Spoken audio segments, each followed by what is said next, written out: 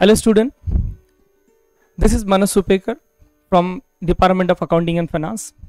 Now in the today's session here we're talking about under the cost accounting very prime and important concept that is process costing.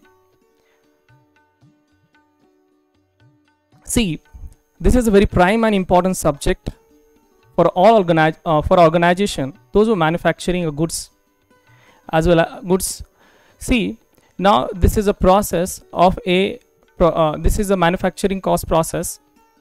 Here is a raw material inventory then working working in uh, working in process inventory finished goods inventory and cost of goods sold.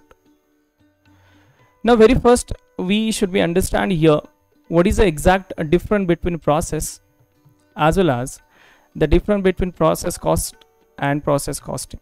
These three terms are quite different so first of all here we're talking about the first part is a process. What is meant by the process? So process means nothing. It is the various manufacturing operations or phases or stage for a manufacturing of a goods. Then what is meant by the process cost? Meanwhile the production of goods whatever the cost is incurred for a manufacturing of a goods it is known as a process cost this cost is very important because of on the basis of this cost the goods as manufactured.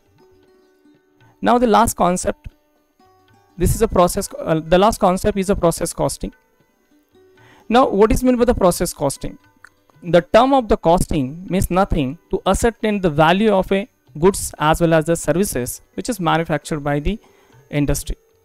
It's very simple term about the process costing process costing used to find out the cost of the product in the each processes. This costing is very important for the manufacturing organization because of with the help of this costing they can be understand and they can be find out the each each phases. It means that they can be find out the cost as well as to ascertain the cost as per the production wise. This is a very simple structure to understand this concept in the process costing the first part of a raw material you can see here.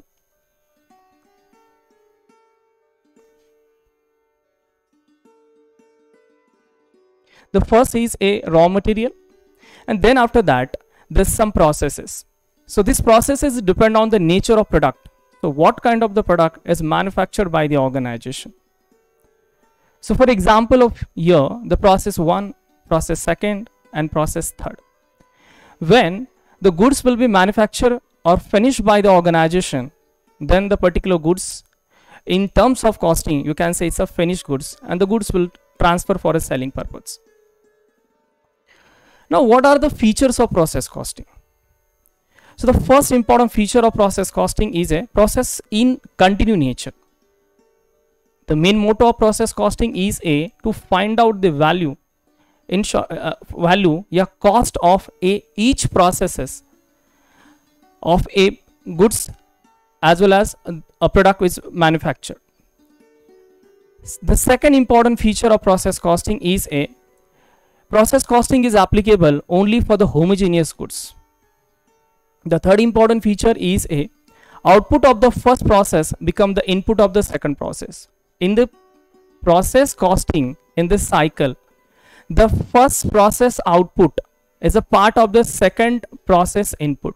The same on the second process output is a part of a third process input. And when the goods will be finalized then the particular good will be transferred for a selling purpose. The third important feature is a out of, output of the final process is a part of the finished stock.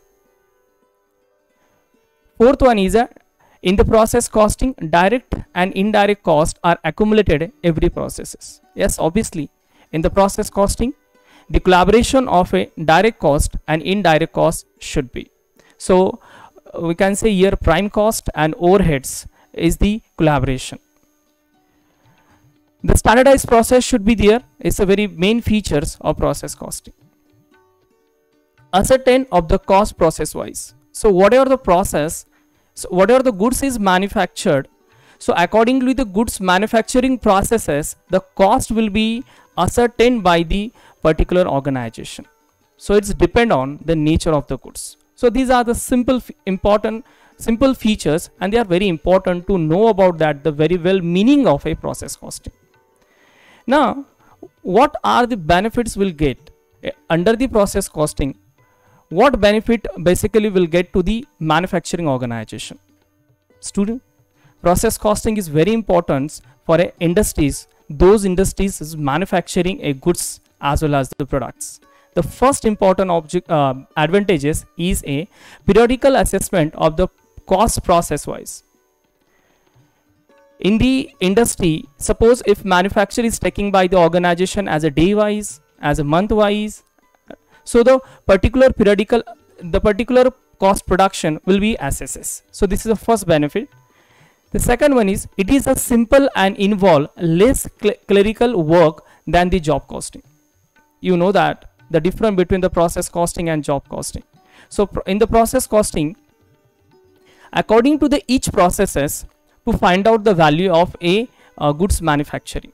My dear student in the process costing has very less part of the uh, clerical works the next advantages is a it is easy to allocate the expenses to the processes in order to have accurate cost yes it is the very important terms in the costing has a two important measurement tools for a calculation of the cost. One is a method and second one is a technique. Process costing is a method of costing and obviously with the help of this costing we'll get the accurate figure of each and every goods which is manufactured by the manufacturing concern. So it is a uh, important advantages.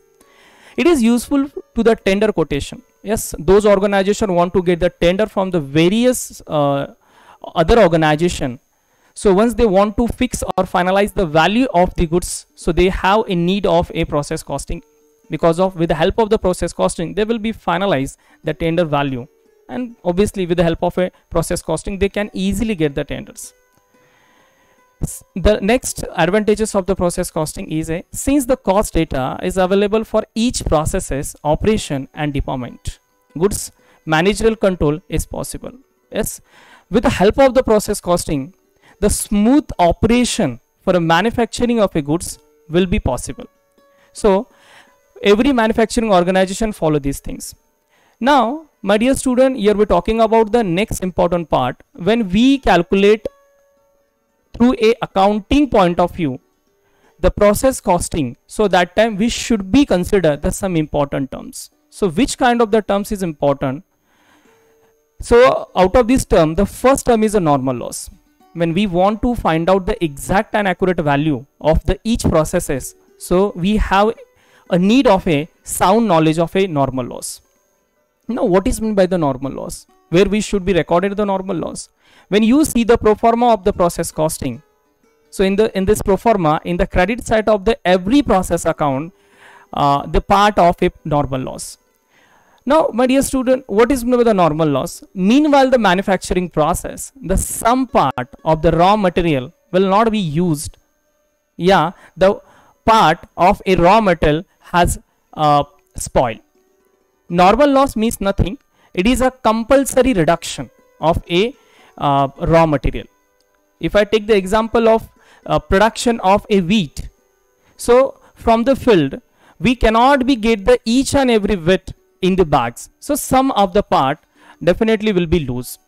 So what are the example of a normal loss? So here you can to understand normal loss. What are the examples of normal loss? So first upon the evaporation. Yes, it's a, a major part of the normal loss. Second one is a breakage. Next one is a scrap due to the need for the high quality. Next one is a rejection on inspection. Next one is a defective unit. Next one is a loss inherent in the large scale manufacturing. Next one is a chemical changes. Next one is a residual material. So these are the examples of a normal loss. My dear student, normal loss is not a uh, controllable activity. It is uncontrollable things.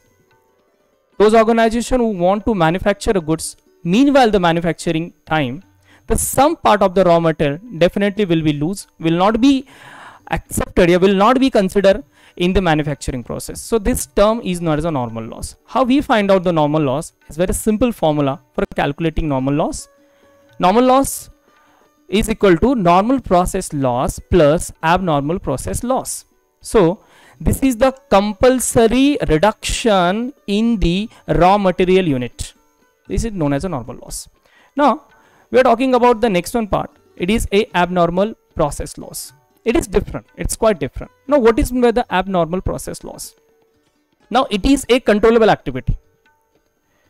It is a controllable activity. So normal there are the some examples of normal loss abnormal working condition bad working condition carelessness rough handling lack of proper knowledge low quality raw material machine breakdown and the accident of the employees and all these things.